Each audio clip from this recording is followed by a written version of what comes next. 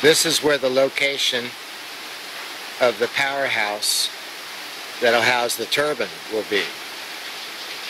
Right here in this area here will easily feed back into the river, which is here.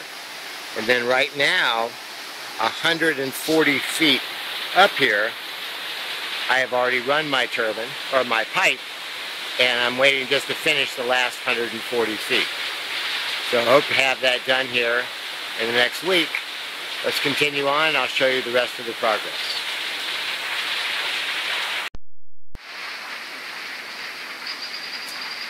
And here is the uh, where we have the pipe run to. So that's only 140 feet to right over there. And that's a three inch PVC pipe.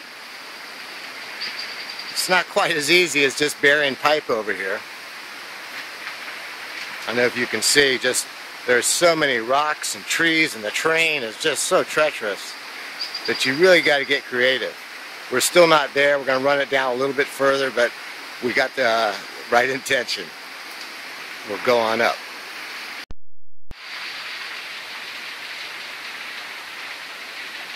Here's some more of the running of the pipe.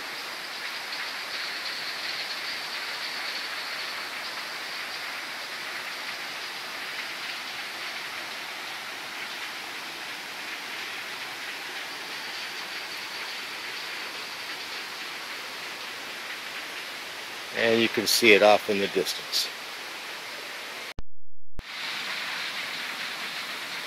And here's another shot of the continual running of the tube. You'll see here, we had to do a little excavation, kind of bending around the tree. Nice, easy, gradual slope, and then here we get a good vertical drop. And uh, it takes off as a straight shot right to the penstock.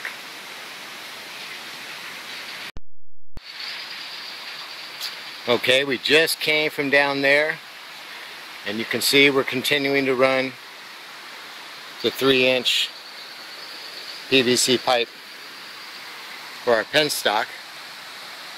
And right up there, you can see that white PVC pipe.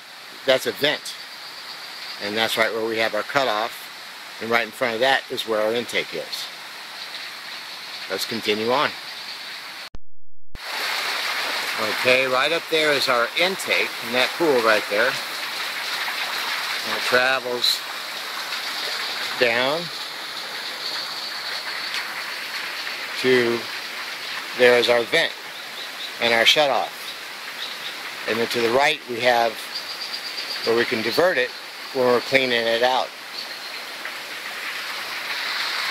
Then you can see that PVC pipe right over there that's the location of the uh, clean out for the pond. I have a plug that I pull and that uh, drains the pond so that we can work on the intake.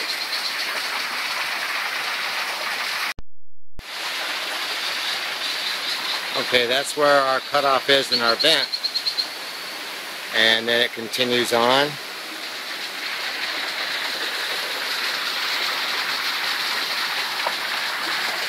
Into the pool. So just up behind that rock, I have a, a uh, wire basket around and a PVC filter drilled with a bunch of 3 16 inch holes, uh, totally perforated. And that filters all the big debris from going into the pipe. I want to keep everything under one quarter of an inch of any debris that might go in there.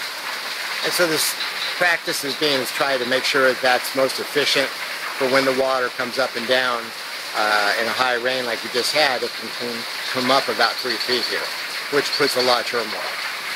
And then over there, you can see that's where the drain is.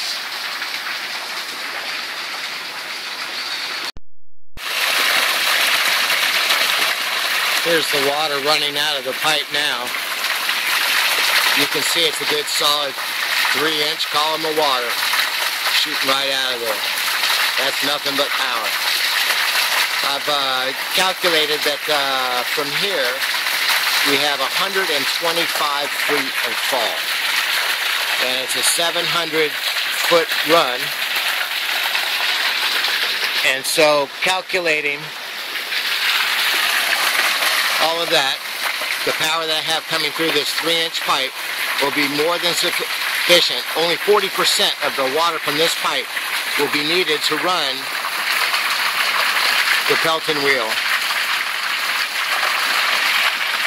So I will even be able to in the future, if I so desire, I could run another one right next to it. Life is good.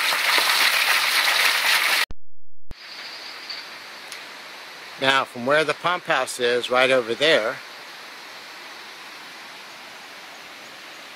to just over on the other side of that ridge and down some, about 350 feet, is where the lodge is. And that's where we'll be running the wire to the voltage regulator and then to the batteries and then to the inverter.